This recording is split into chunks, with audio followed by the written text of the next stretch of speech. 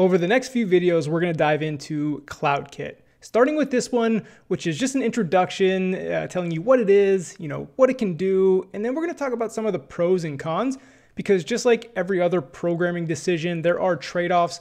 There are certain types of apps that would be great for CloudKit. Certain type of apps you should stay away from CloudKit. So we're gonna talk about the different, you know, pros and cons.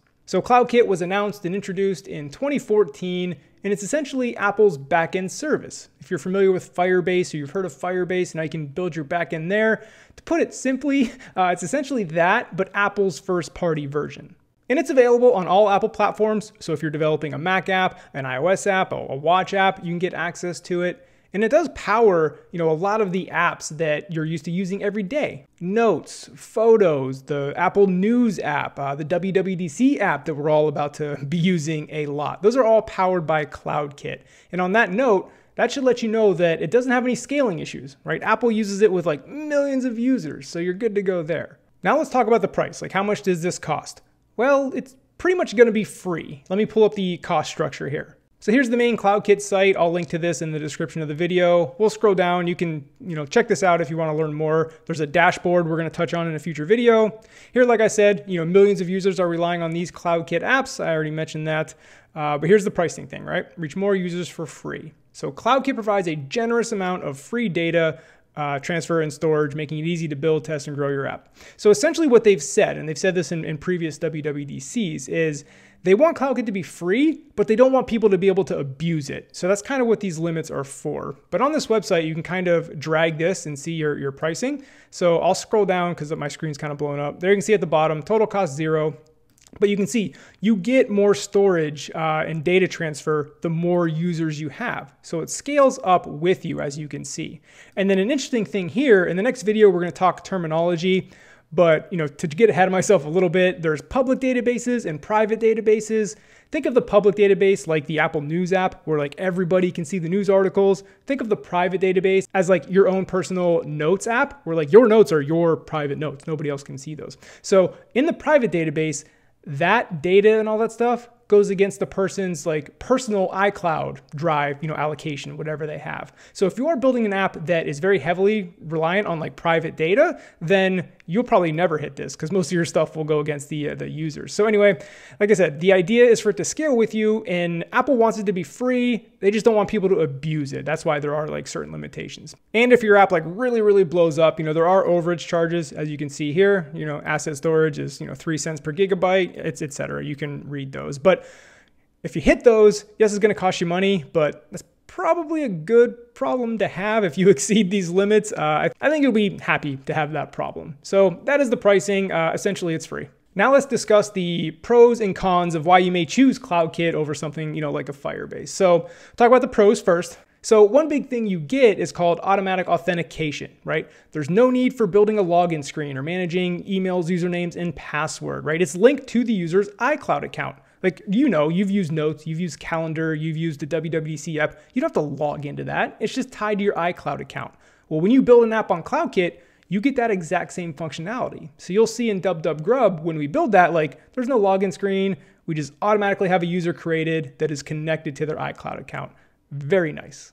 So another benefit is the syncing of data across devices. As an Apple user, I assume you have an iPhone and a MacBook if you're taking this course, you know the beauty and the power of, you know, taking a note on your phone and then it just magically syncing instantly to your MacBook, that kind of stuff. That is CloudKit in action. That's kind of what powers, you know, the ecosystem of Apple. So again, if you're building apps on CloudKit, you can uh, build in that functionality into your apps as well. And another benefit is that it is Apple's first party supported framework. Like some of their major apps, Notes, Photos, News, are built on CloudKit. So that's a pretty good sign that it's going to be supported moving forward.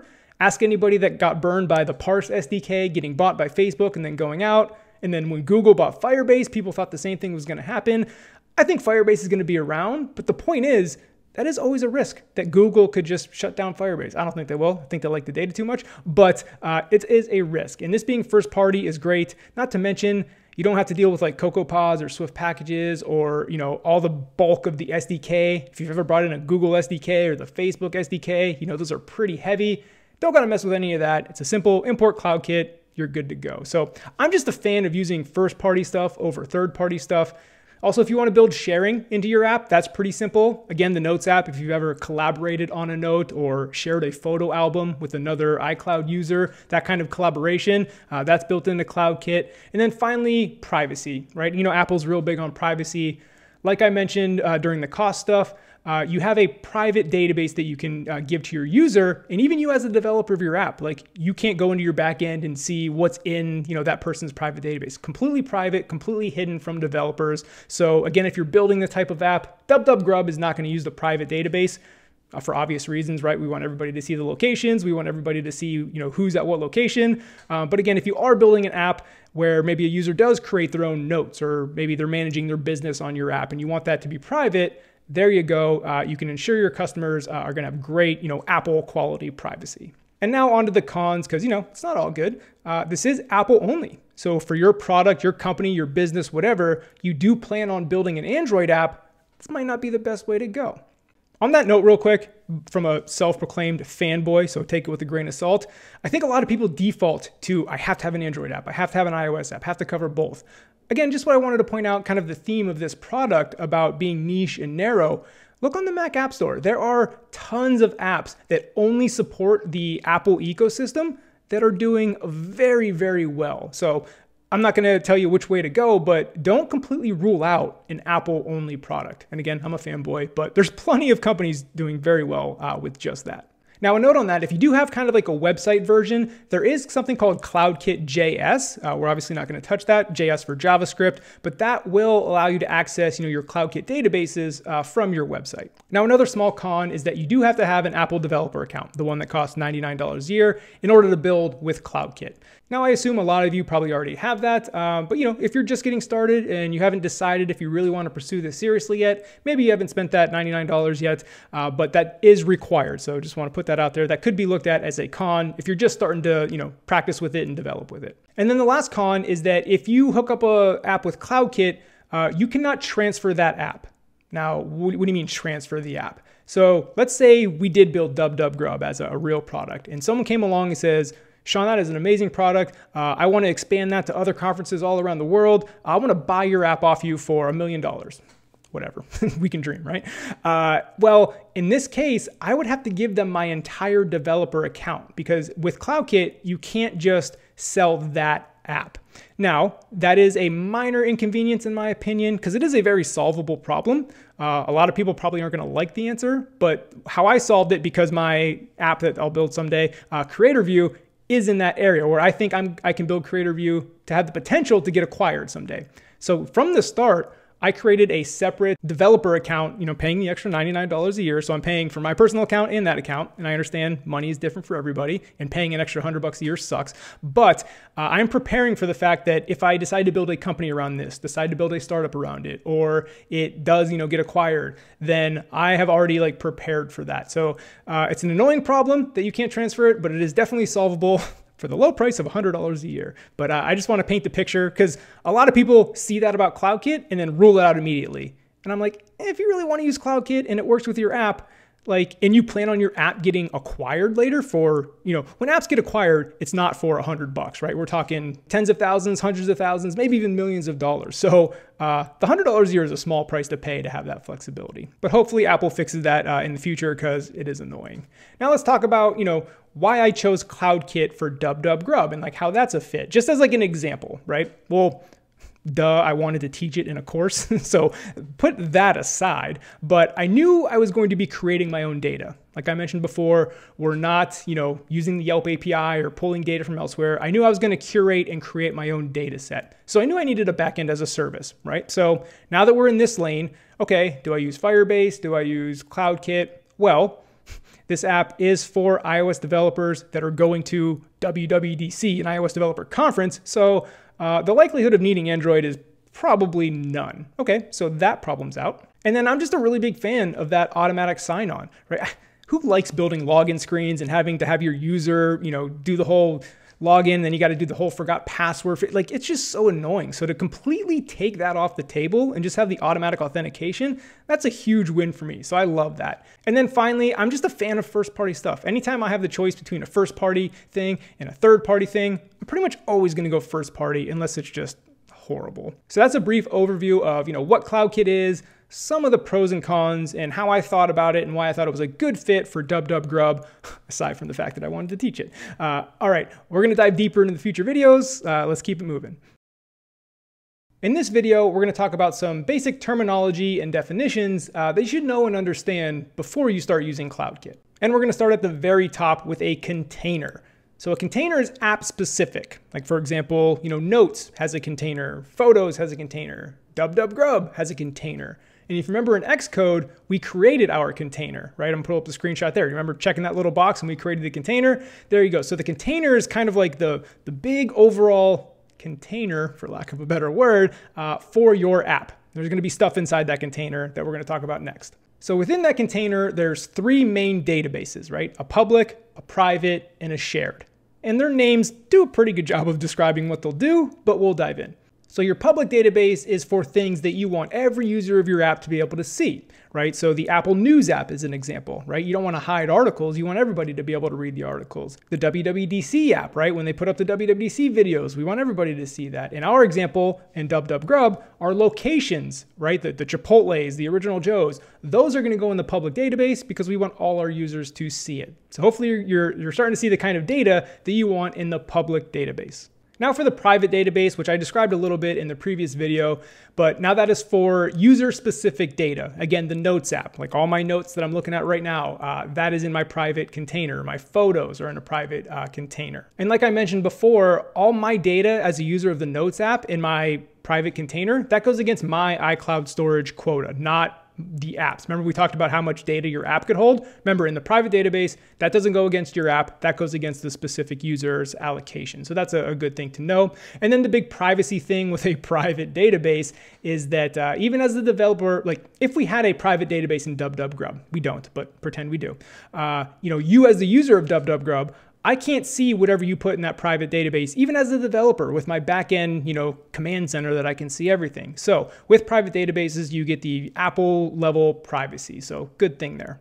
And then last, we have the shared database, which is, uh, you know, items that are shared between users. Again, the example of this is the uh, collaborating on a note, right? If you've ever done that with a user, or sometimes you can share a photo album uh, with another iCloud user. So that kind of stuff is in the shared database. So again, the three databases, public, private, shared, and their names do a pretty good job of explaining them. So the next topic is records, and we're going to talk about a record type as well.